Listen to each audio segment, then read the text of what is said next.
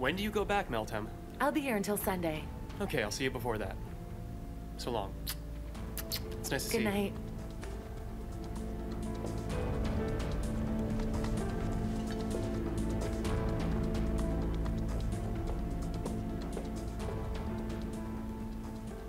When Perihan heard about the wedding, she got a headache. Oh, no, I think it's a cold. Uh, she'll be okay. She'll feel better tomorrow.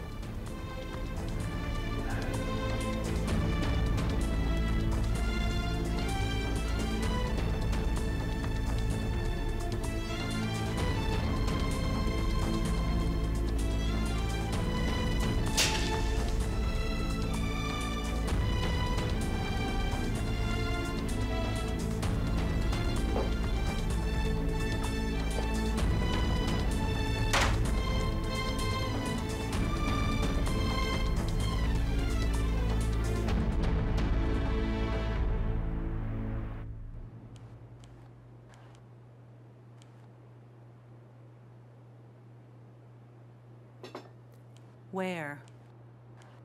Have you decided where Vural will stay then? Mm-mm. I already sent you a lot of emails with photographs. Message sent. Vural didn't show me anything. You said he was home. What did he do? He stayed in his room. He makes me feel ill, you know it? No, you don't need to go. We argued today, and now he doesn't come down to dinner to punish me. He will be gone in a few days. He needs to pull himself back together.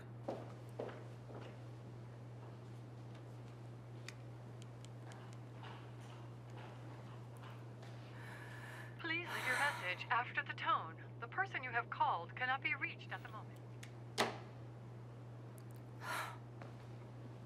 Vural!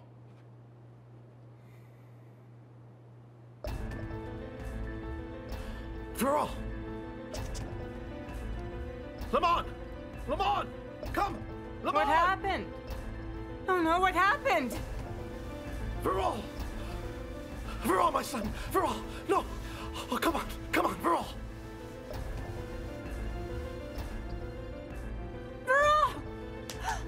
Drank too much. He's in a coma.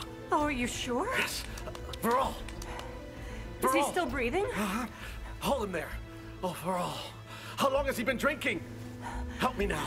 Wait, I'll call for an ambulance. Vural, hold on. My, my son, please open your eyes. Vural!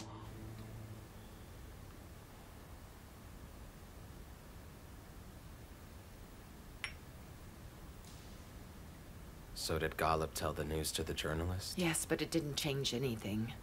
They took back all the papers. All that he told them was a waste. And the journalists were about to write the news. I wish it would happen. There would be such a scandal. But it's a lie, so they wouldn't write it. You're still saying it's a lie. And why are you still trying to protect them? No, I'm not protecting anyone, so just drop it now. And you will keep saying it then, huh? As if you are the only one who did this. Won't you now? I don't believe it. Tell me that you didn't do it, please. I need to hear you saying that you didn't. Tell me. Tell me that you didn't do it, Kerim. I know that you didn't. I know it, my boy. Now tell me.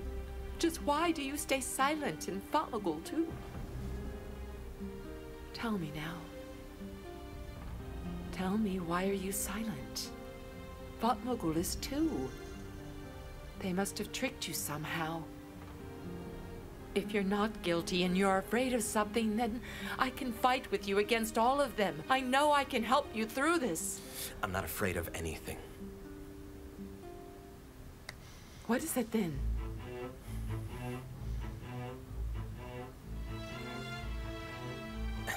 That girl.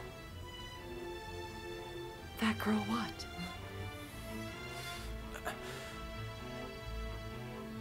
I helped destroy her life.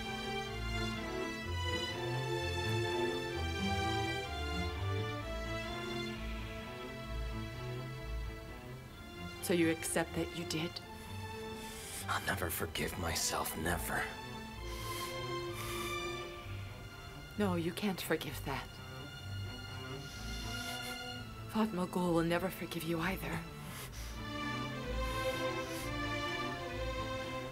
And believe me, I will never forgive you. You'll be miserable not only until the day you die, but for an eternity.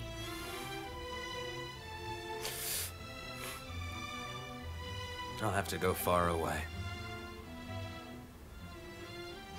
You can go home. And I'll go far away after they move in here, okay? And where will you go? Mm-hmm. Which home, then? I don't have a home there anymore. I was their Ebenine, and now I'm only their enemy. Everyone keeps their daughters far away from me right now. And now they don't trust me to heal them anymore. They were about to hit me. They wanted me to go away. They were about to kill me instead of you. Huh? They don't love me anymore because now they only hate my guts. Do you know nothing? I won't go back home. And where would I go because I don't have a home there anymore?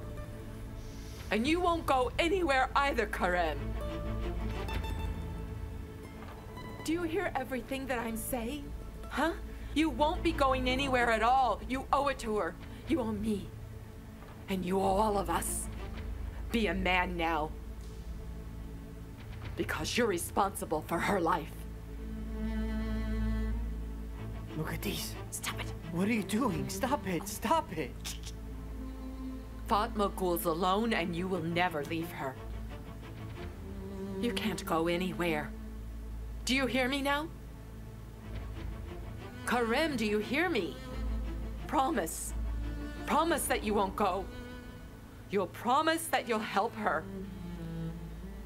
I'll be here to make sure you do it. Mukaddes. Stop it!